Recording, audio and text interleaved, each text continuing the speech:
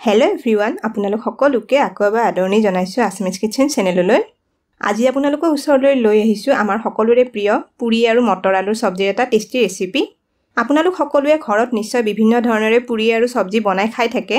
তেনেহ'লে আজি মই বনোৱা ধৰণৰে এই পুৰি চব্জিৰ ৰেচিপিটো এবাৰ আপোনালোকে ট্ৰাই কৰি চাব পাৰে। মই ভাবোঁ আপোনালোকে এই ৰেচিপিটো নিশ্চয় ভাল পাব। তেনেহ'লে ভিডিঅ'টো ষ্টাৰ্ট কৰাৰ আগতে আমাৰ চেনেলটো যদি আগতে ছাবস্ক্ৰাইব কৰা নাই ছাবস্ক্ৰাইব কৰিবলৈ ৰিকুৱেষ্ট কৰিলোঁ। আৰু আগলৈ আমাৰ চেনেলত দিয়া ভিডিঅ'বোৰৰ ন'টিফিকেশ্যন পাই থাকিবলৈ বেল আইকনটো প্ৰেছ কৰি দিব।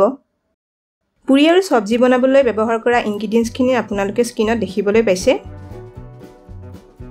প্ৰথমতে পুৰি বনাবলৈ এটা বাতিত দুকাপ আটা লৈ লৈছোঁ অলপ নিমখ দিছোঁ দুচামুচ ৰিফাইন তেল দিছোঁ। আটা আৰু তেলখিনি ভালদৰে মিক্স কৰি লৈছোঁ। আপোনালোকে আটাৰ ঠাইত ময়দা ব্যৱহাৰ কৰিবও পাৰে। এইখিনিতে এটা ৰিকুৱেষ্ট কৰিলোঁ। ভিডিঅ'টো চাই যদি ভাল পাইছে এটা লাইক কৰি দিব আৰু আপোনালোকৰ ফেমিলি আৰু ফ্ৰেণ্ডৰ মাজত আমাৰ ভিডিঅ'টো শ্বেয়াৰ কৰি দিব। এতিয়া ইয়াতে অলপ অলপ পানী দি আটাখিনি মঠি ল'ব লাগিব। আটাখিনি তিনি চাৰি মিনিটমান সময় মঠি ল'লে হৈ যাব।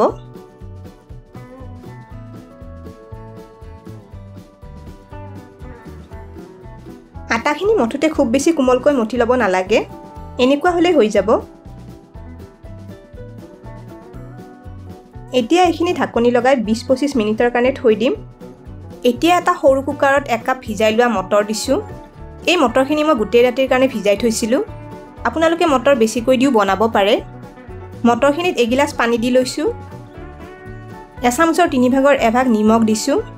এতিয়া এই মটৰখিনি দুই তিনিটা হুইচেল অহালৈ সিজিব দিব লাগিব। এয়া মটৰখিনি সিজোৱা হৈ গৈছে। চাওকচোন কেইটামান মটৰ দেখুৱাইছোঁ। মটৰখিনি এইখিনি সিজিলেই হৈ যাব। মটৰখিনি সিজাওঁতে দুই তিনিটা হুইচেল অহাৰ পিছত গেছৰ জুইটো কমাই দিব লাগে আৰু পাঁচ মিনিটমান সময় কম জুইত সিজি থাকিব দিব লাগে। তাৰপিছত গেছটো অফ কৰি যেতিয়া কুকাৰৰ ভাৱটো নিজে নিজে ওলাই যায় তেতিয়াহে ঢাকনিখন খুলিব লাগে। এই মটৰখিনি আমি পিছত ব্যৱহাৰ কৰিম। এয়া এটা কেৰাহীত অলপ মিঠাতেল দি গৰম হ'ব দিছোঁ। তেলখিনি গৰম হোৱাত কেইটামান গোটা জিৰা দিছোঁ। এটা শুকান জলকীয়া দিছোঁ। এইখিনি ফুটি অহা দুটা মিহিকৈ কাটি লোৱা পিঁয়াজ দিছোঁ। পিঁয়াজখিনি দুই তিনি মিনিট সময় ৰঙচুৱা হোৱালৈ ভাজি ল'ব লাগিব।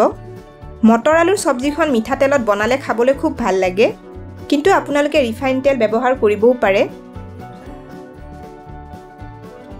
এয়া আধা চামুচ আদা নহৰু পেষ্ট দিছোঁ। এইখিনিও কেঁচা গোন্ধটো যোৱালৈ দুই মিনিটমান সময় ভাজি লৈছোঁ। এইখিনি ভজা হোৱাত আধা চামুচ জিৰা গুড়ি দিছোঁ। আধা চামুচ ধনিয়া গুড়ি দিছোঁ। আধা চামুচ হালধি দিছোঁ। আধা চামুচ গৰম মছলা গুড়ি দিছোঁ। এইখিনি এবাৰ লৰাই দিছোঁ। এতিয়া এচামুচৰ তিনি ভাগৰ এভাগ জলকীয়া গুড়ি দিছোঁ। গোটেইখিনি মছলা এক মিনিটমান ভাজি ল'লোঁ। এতিয়া ইয়াতে দুটা মিডিয়াম চাইজৰ সৰু সৰুকৈ কাটি লোৱা আলু দিছোঁ। ইয়াতে আধা চামুচ নিমখ দিছোঁ। নিমখ আপোনালোকে সোৱাদ অনুসৰি দি ল'ব পাৰিব। আলুখিনি মছলাখিনিৰ লগত ভালদৰে মিক্স কৰি দিছোঁ। এতিয়া ঢাকনি লগাই আলুখিনি কম জুইত দুই মিনিটমান সময় ৰাখি দিছোঁ। দুই মিনিট সময় পিছত ঢাকনিখন আঁতৰাই লৈছোঁ। আলুখিনি অলপ ভজাগৈ মছলাখিনিৰ লগত মিক্স হৈ পৰিছে। এয়া এটা কাটি লোৱা সৰু বিলাহী দিছোঁ। আপোনালোকে বিলাহী বেছিকৈ দিব বিচাৰিলে অলপ বেছিকৈ দিবও পাৰে। বিলাহীখিনি দিয়াৰ পিছত আকৌ অকণমান ভাজি লৈছোঁ।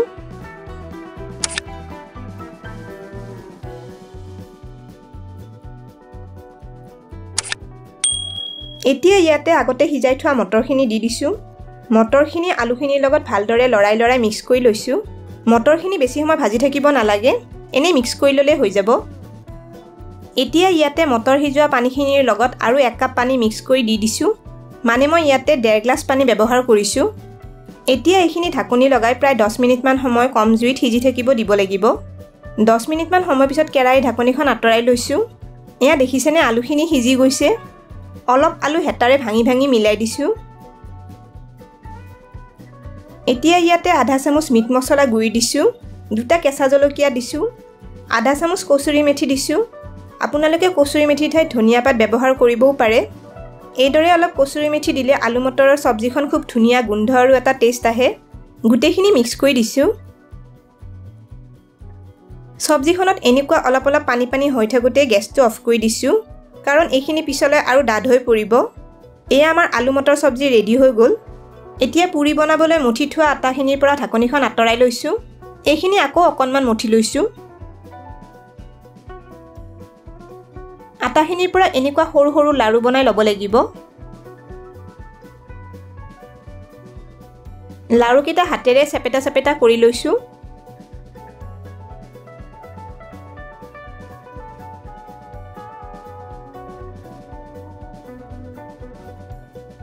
এতিয়া বেলনা এখনত অলপমান তেল সানি লৈছোঁ।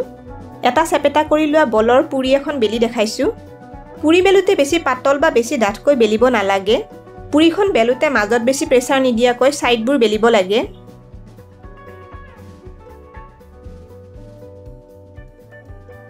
এনেকৈ গোটেইখিনি পুৰি বেলি ল'ব লাগিব। এটা কেৰাহীত ৰিফাইন তেল গৰম হ'ব দিছোঁ। ইয়াতে আমি পুৰিখিনি ভাজি ল'ম। তেল গৰম হোৱাত জুইটো কমাই দিছোঁ। এখন পুৰি দিছোঁ। পুৰিখন দিয়াৰ পিছত জুইটো মিডিয়াম ফ্লেমত ৰাখিব লাগে। তেতিয়াহে পুৰিখন ফুলি আহে। এয়া চাওক পুৰিখন ধুনীয়াকৈ ফুলি আহিছে। এতিয়া আনটো ফালে ওলটাই দিছোঁ। এইদৰে এক দুই মিনিটমান সময় দুইটা ফালে অকণমান ৰঙচুৱা হোৱাকৈ ভাজি ল'ব লাগিব। এনেকৈ গোটেইখিনি পুৰি ভাজি ল'ব লাগিব। তেনেহ'লে আপোনালোকেও এইদৰে পুৰি আৰু আলু মটৰ চব্জি বনাই সোৱাদ ল'ব পাৰে আৰু কেনে পালে কমেণ্ট কৰি জনাব। স্ক্ৰীণত দেখা পোৱা ৰেচিপিকেইটা চাবলৈ মই ৰিকমেণ্ড কৰিলোঁ। ভিডিঅ'কেইটা চাবলৈ ৰেচিপিটোৰ ফটোখনৰ ওপৰত ক্লিক কৰিলেই হ'ল।